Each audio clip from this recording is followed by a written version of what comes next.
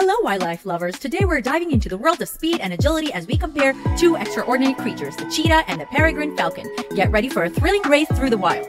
First up, the cheetah. Known as the fastest land animal, the cheetah can reach mind-boggling speeds of up to 75 miles per hour. Its sleek body and powerful muscles make it a formidable sprinter, capable of catching prey with lightning speed. Now, let's take to the skies with the peregrine falcon. This avian marvel is the fa fastest bird, reaching speeds exceeding 240 miles per hour during its hunting stoop.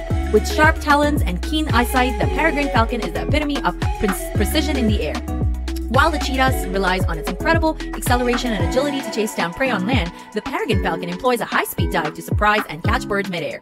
Each has perfected its own hunting technique for survival. In the realm of speed and skill, both the cheetah and peregrine falcon are extraordinary in their own right. Whether racing across the savannah or soaring through the skies, these magnificent creatures showcase the incredible diversity of our animal kingdom. Thank you for watching and don't forget to like and subscribe.